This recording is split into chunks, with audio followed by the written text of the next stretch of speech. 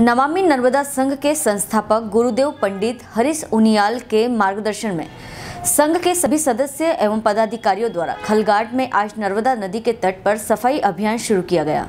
नदी के संरक्षण एवं माँ नर्मदे के आश्रय में पलने वाले जीव जंतु के संरक्षण का संकल्प लिया गया।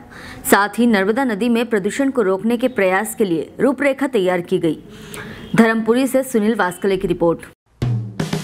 हेलो फ्रेंड्स आप देख रहे हैं हमारा channel S W twenty four news हमारे सारे वीडियो सबसे पहले देखने के लिए आप हमारे चैनल को सब्सक्राइब करें और पास में लगे बेल आइकन को दबाना बिल्कुल भी ना भूलें।